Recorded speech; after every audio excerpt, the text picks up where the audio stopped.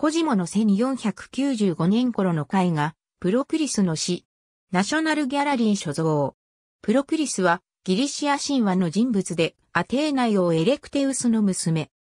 デイオーンの息子ケヘパロスと結婚した。少なくとも二人の姉妹、すなわち、クレウサとオーレーテューヤがいた。ソフォクレスは、プロクリスと題する悲劇を書いたが、散逸している。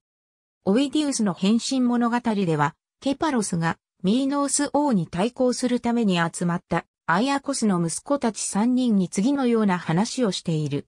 プロクリスの夫ケパロスが狩りの途中、暁の女神、エーオースが彼を誘拐して我が物にしようとした。しかし、ケパロスは妻、プロクリスを恋しがった。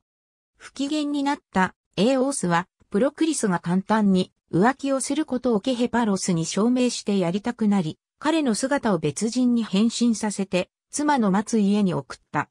贈り物によって低層を試したケヘパロスは、ついに妻の心が傾いたことを見るや自分が夫であることを明かし、彼女を非難した。プロクリスは家を出て、アルテミスのように狩猟生活を始めた。後に二人は和解し、犬のライラプスと必中の槍を和解の印として持参した。しかし、ケパロスがそよ風に語る愛の言葉が不倫であると、誤解したプロクリスは山に向かった。ケパロスは、プロクリスが落ち葉を踏む音を獣だと勘違いし、必中の槍を投げて妻を殺した。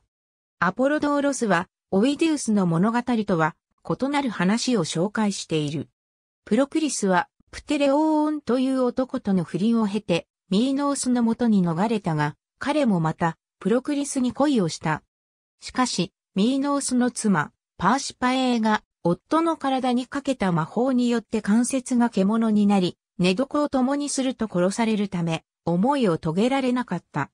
ミーノースは、パーシパエーに、槍とライラプスを渡し、さらに、キルケーのネデパーシパエーの魔法を無効にした上で、思いを果たした。ありがとうございます。